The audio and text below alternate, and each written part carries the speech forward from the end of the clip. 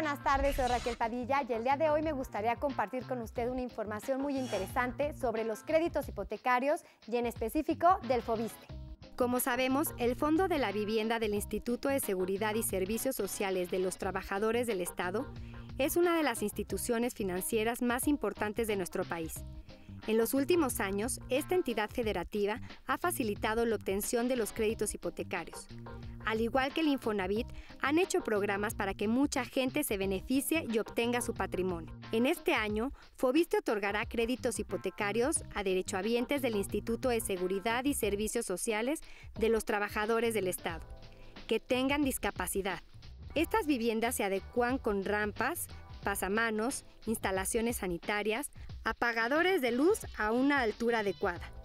Esto dependiendo si la discapacidad es motora, auditiva o visual. Si se quiere adquirir una vivienda nueva, el crédito será denominado Respaldados M, cuyo monto máximo es de 80 mil pesos, aunque la Comisión Nacional de Vivienda dará hasta 60 mil pesos de subsidio para dicho crédito. Fobiste prestará los otros 20 mil pesos. Algo importante es que el esquema crediticio para una nueva casa será que se ajuste a las condiciones de cada derechohabiente conforme a su capacidad de pago y años de cotización. Estas acciones se realizarán en concordancia con la Política Nacional de Vivienda implementada por el Gobierno de la República y contribuyen a la meta de lograr un México sin discriminación, en el que las familias mexicanas puedan adquirir una vivienda digna acorde a sus necesidades. ¿Qué le pareció esta información? ¿Verdad que excelente? Esto es un gran avance en los créditos hipotecarios.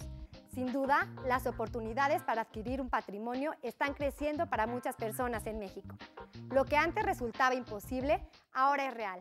Esto es una gran noticia para aquellas personas con discapacidad, ya que pueden tener la oportunidad de vivir como se merecen.